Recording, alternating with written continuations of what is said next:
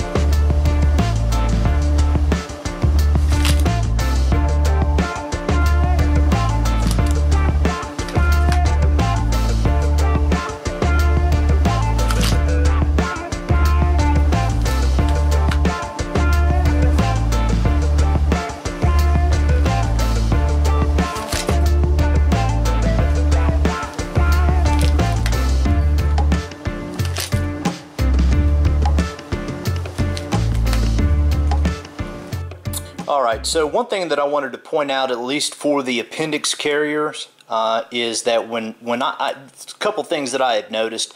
Uh, again, I'd mentioned before that I find myself having to adjust the weapon a lot more because it, it seems that it wants to move around a lot more. Um, now, one thing that I want to make sure to mention is that when you draw your weapon, let me put my firearm down. Uh, depending on the clothing item, I've noticed, uh, you know, not all material and not all, you know, jeans or shorts or pants are all going to be made the same thickness or out of the same material. So one thing that I've noticed is that depending on the clothing item, uh, as you can see, the material here wants to kind of cave in because it doesn't have anything to support. When your firearm is in there, it of course is laying against the uh, your upper slide.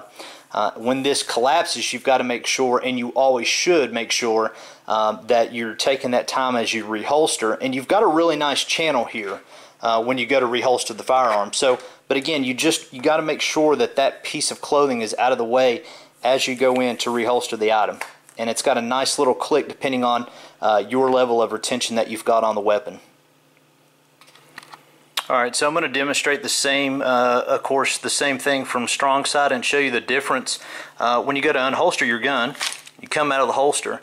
Do you see how the material doesn't want to collapse within this channel? Okay, and it's just the, the way that the uh, your body is designed and, of course, how this holster pushes out on the belt and it just keeps the material just closer uh, to the actual belt versus collapsing okay um, and I believe by doing so um, again, strong side, I believe that it is uh, easier for reholstering. Uh, again, you just find that nice open mouth uh, of the channel of the holster, guide your light inside, okay? Just push it down until you get your audible click. Again, that's depending on how tight you want to run it now. Um, again, I believe that this is a lot better option um, for carrying this particular um, holster just for the simple fact that it makes it so much easier on reholstering. Alright, so this is what the box looks like. Um, and it does come with, an, of course, an instruction manual. Um, I do want to point out here uh, real quick, guys, this thing does come with the uh, traditional hooks. I just couldn't find them for the video. Um, but I personally like this particular style of uh, belt loop for this particular holster. Um, it is going to be very stiff when you get it. Uh, again, this is a one-way directional clip, which means that you can only put it on and take it off one way. Uh, and by doing so, of course, if, you're, if you have the gun holstered on your person, uh, you push down on this clip, and of course, to reinsert it, you insert this round ring at the bottom of this piece here of the, butt, of the uh, bottom and clip it in. And it's it's not going to come off. Uh, and of course you can actually see here if I show you a little bit close up that little piece right there is the reason why it makes it a one-way directional uh, button. Now the, let me show you a little bit this is the only piece of course that is holding this entire um, holster itself to the actual weapon light let me show you that we've got a safe weapon here this is one of the things that I don't like about it. Snaps in there quite nicely, but look at the look at the wobble in that. That is just, you know, again, it, it is personal preference. Does it work? Yes. Does it do the job? Yes. Again, it's just personal preference. I just don't like that wobble. I would like to have that a lot tighter, but the problem with that is, is if you make it too tight, it's really going to hinder the um, the actual weapon uh, being drawn. One of the things that I think would uh, be beneficial uh, for maybe as an additional add-on is some kind of uh, maybe like a Vanguard hood to where you can actually attach it here and it would act, a piece of Kydex would basically kind of ride over this and what that would do is that would give you more stability as you were drawing your weapon uh, especially from a, for appendix carriers it would prevent that piece of clothing of course from collapsing and I think that it would just just give it overall a better feel. Um, so anyway, those are my thoughts here guys on the Vanguard 3. Again, you'll need to make that personal decision for yourself. Uh, you know, again, if you guys are new to the channel, please hit the like and subscribe button.